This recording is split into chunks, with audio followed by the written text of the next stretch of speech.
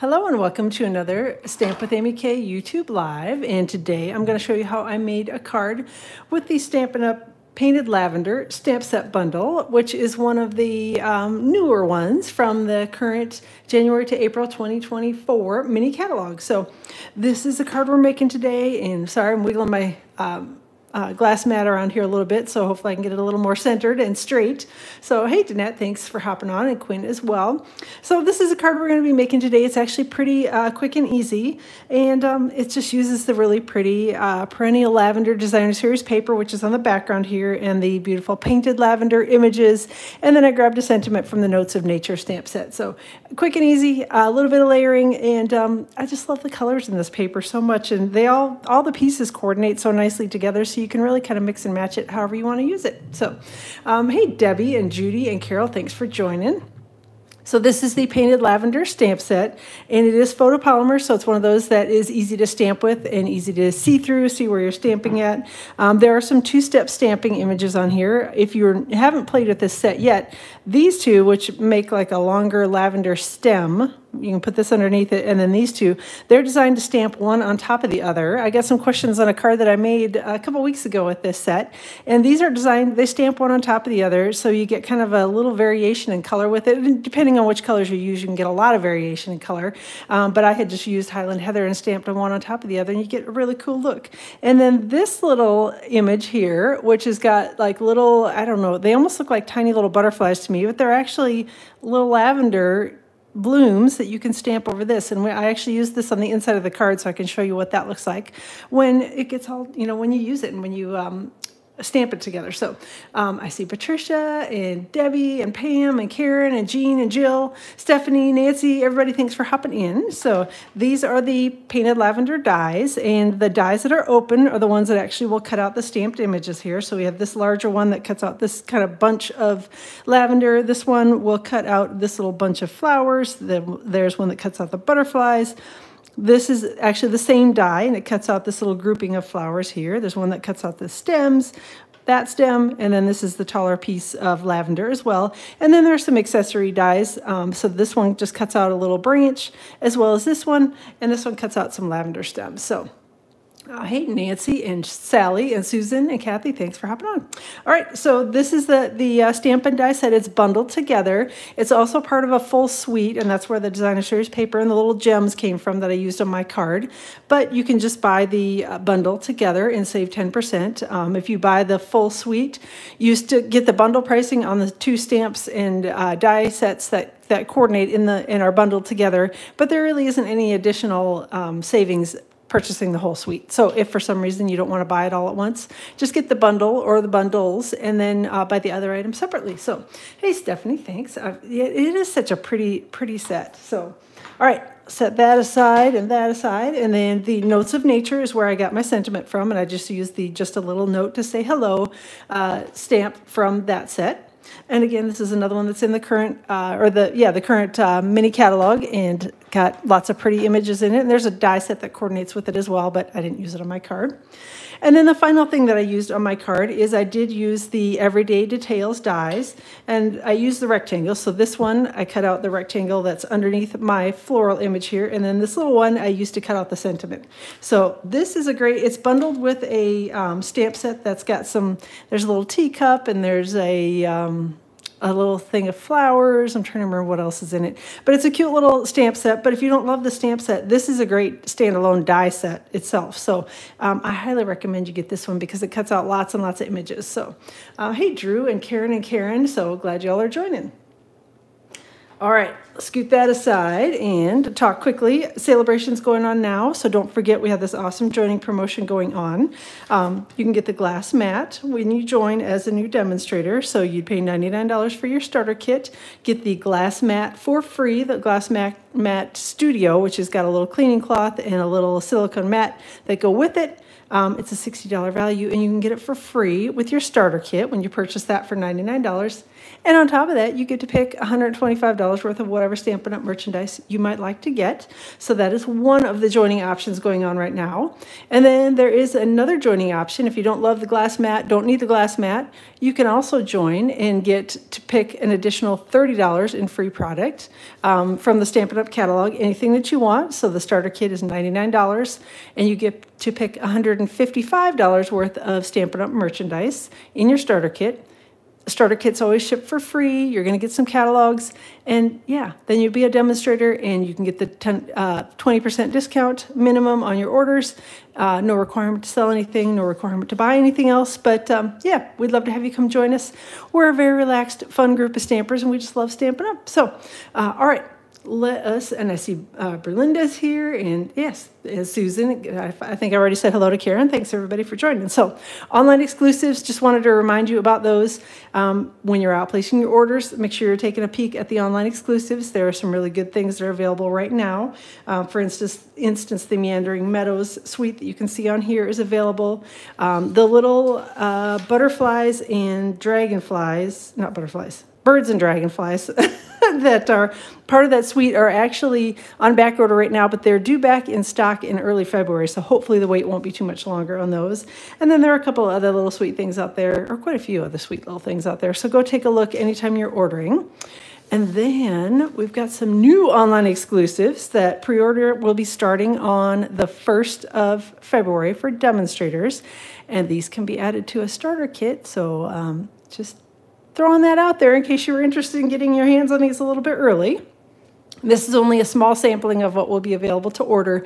Um, just a few of the items. So there are flowering zinnias, designer series paper, and then there is a Zinnia 3D embossing folder. It looks like some pretty little shiny sequins, a stamp set and dies, and then there's the Encircled in Nature stamp set bundle.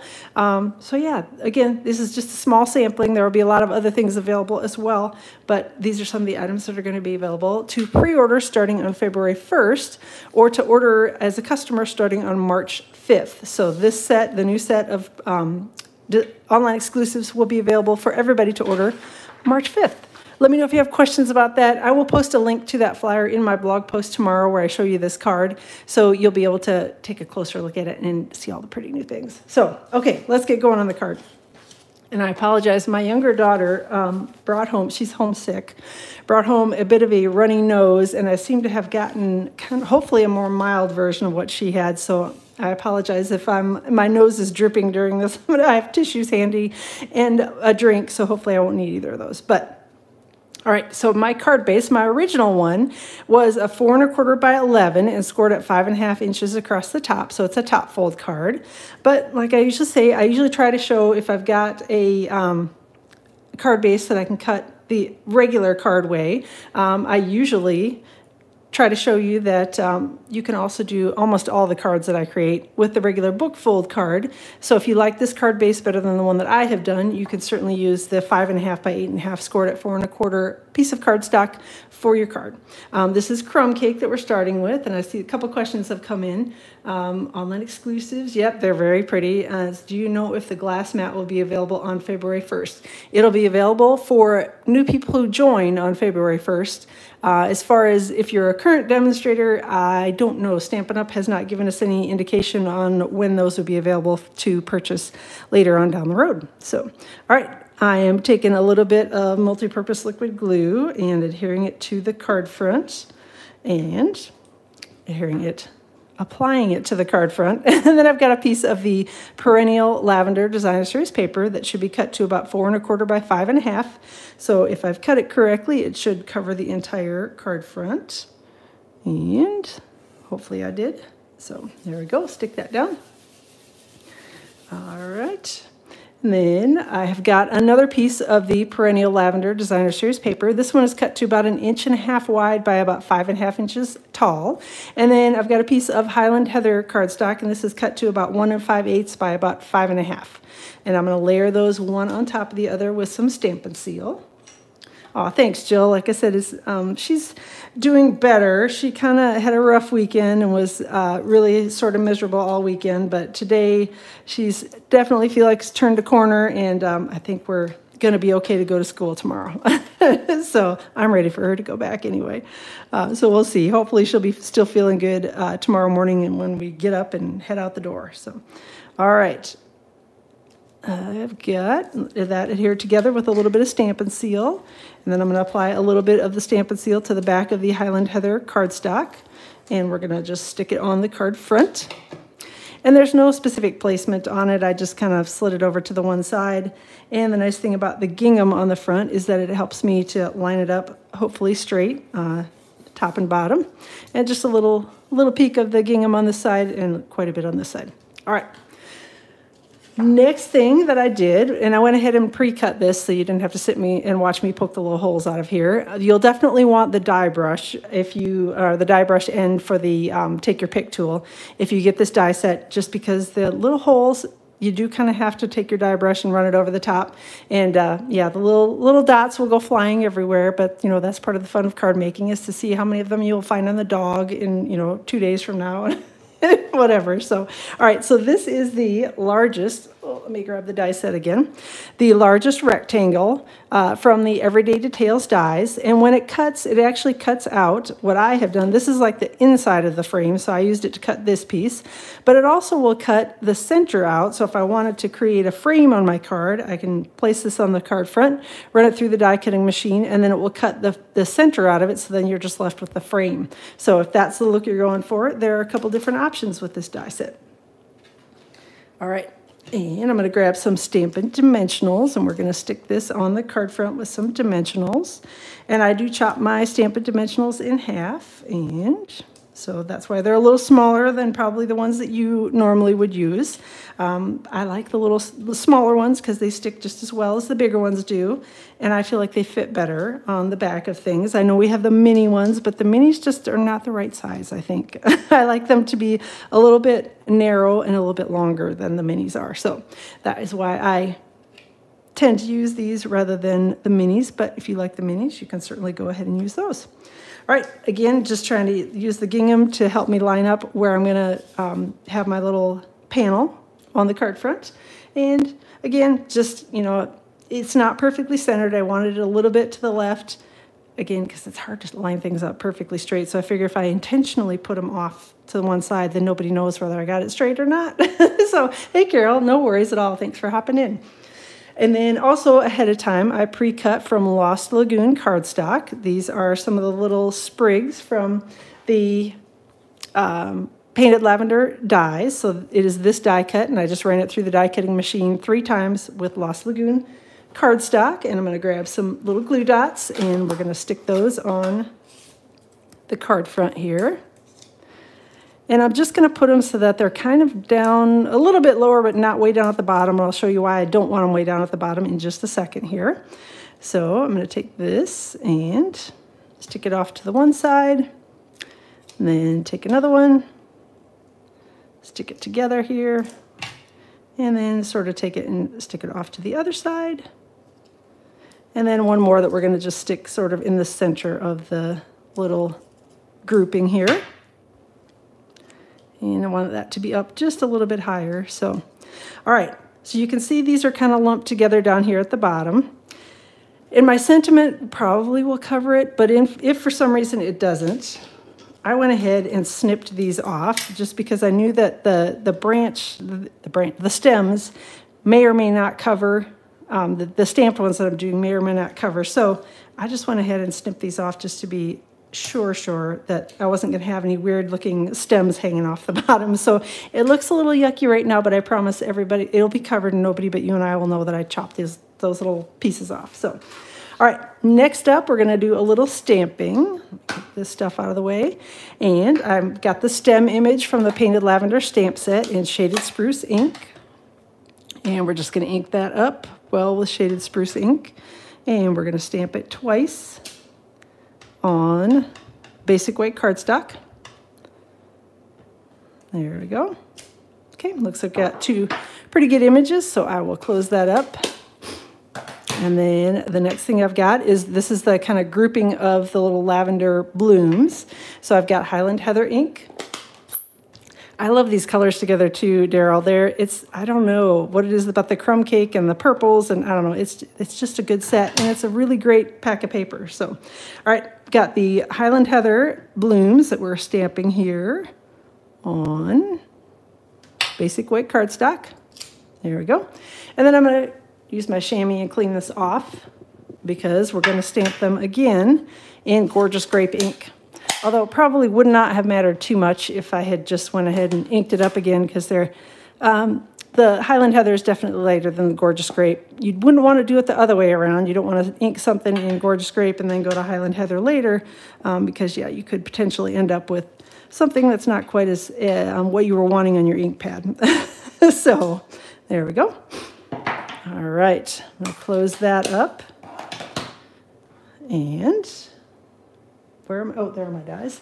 And then I'm going to grab my die set, and I'm going to have to run this through the die cutting machine twice because I've got to cut both pieces out. So these are the dies that coordinate.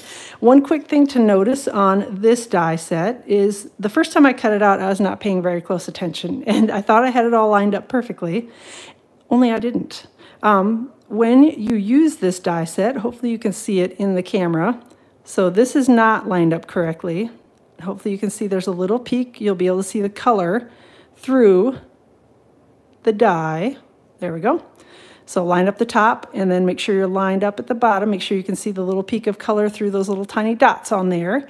And then you know that you're lined up correctly in order to do the die cutting. So that's my one little tip with this set is just keep an eye on those little dots and make sure you can see the color through them and make sure your top is lined up and then you're good to go. So I'll be back in one second. Let me do the die cutting here.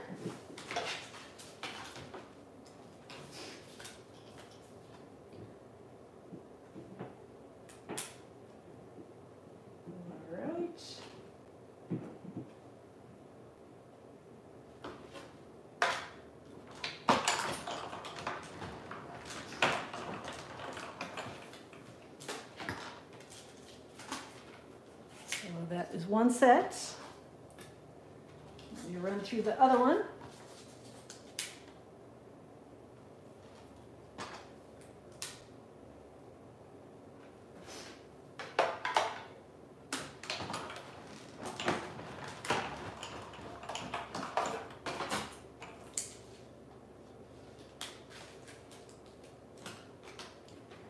And well, here's the other set of die cuts.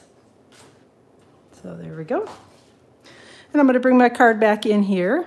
And we're just going to stick these pieces to the card front with some glue dot, if I can find them back again. Stick this to the card front with some glue dots.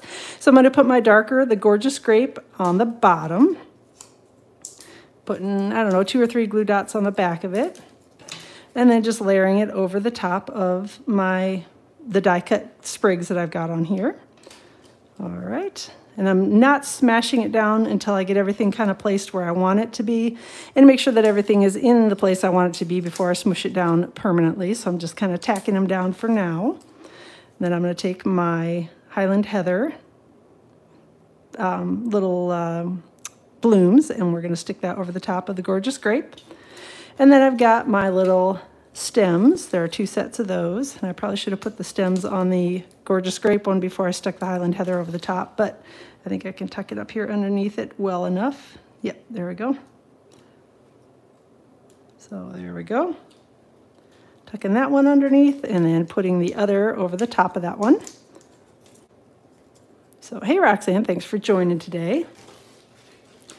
And there we go. Just going to take that one and sort of layer it over the top like that. And I think looks like everything is kind of in the place that I want it to be. So I'm going to smoosh these down, smash these, and stick them to the um, little greenery die cuts that I've got in the back.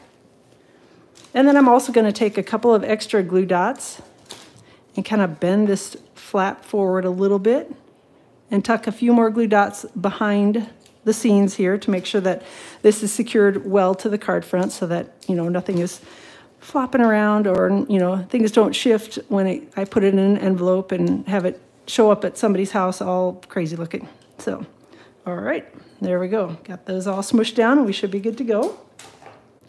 So, the lavenders are really pretty. It's such a great stamp set. So, all right, Next up, I've got a little piece of Highland Heather, just a scrap of Highland Heather cardstock. And I've got my sentiment from the Notes of Nature stamp set in Lost Lagoon ink. So uh, why do you use glue dots instead of tape runner?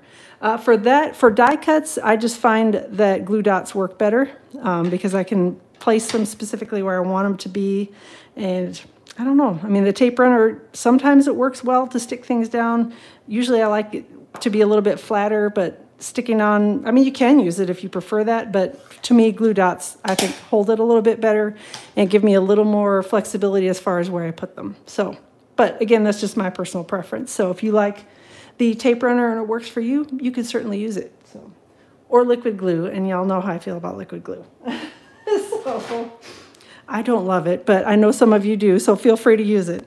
I have a lot of people on my team that love it as well, and they harass me all the time, but I'm like, I glue my fingers together into my project every time I use it. so, um, so I've got the Everyday Details dies, and I've got the smallest one of the little rectangle dies, and I'm gonna cut out my sentiment with that. So, really like glue dots. They're, I see, that's, that's part of it too, when I layer on something like this. Yeah, I agree, Susan, that I forget about the dimension thing too, but yeah, that's another good point. So. All right.